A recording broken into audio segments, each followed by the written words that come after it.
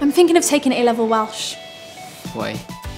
So the Welsh A-level course has really helped me for the future. Um, I've been able to work creatively, uh, been able to socialise in Welsh, and I'm just really grateful that it's given me this opportunity in life to do whatever I want, and I can do it bilingual as well.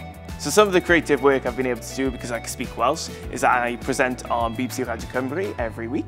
Uh, I've also presented for S4C with the National Eisteddfod and then I've also been able to do lots of different dramas and theatre work through the medium of Welsh too. So I definitely think that um, studying Welsh A-levels helped me to be creative. All my jobs at the moment are in the creative industry and I definitely think studying the Welsh A-level has been playing a massive part of that. You can do loads with it.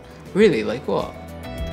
I feel very lucky that I can speak Welsh. I work in Welsh, I socialise in Welsh, so it's always around me and it's just so important to use it every day. The opportunities that I've had um, within the Welsh TV world has been amazing and I feel very, very lucky. Got to meet loads of celebs like Dermot O'Leary and George Clooney and Emma Thompson.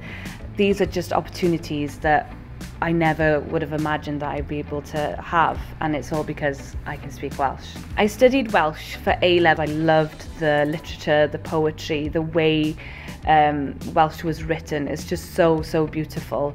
And I'm really lucky because my teachers really pushed me when it came to creative writing as well. Um, and I think it's made me really confident in my writing, so I'm really grateful for that. I'm still not sure. It's an incredibly exciting and important time to be a Welsh teacher, especially with a target of achieving a, a million speakers by 2050. But what we found here at Ysgol is that we're, we're having more students take up Welsh at, at A level because they recognise that having a Welsh qualification at A level is worth having.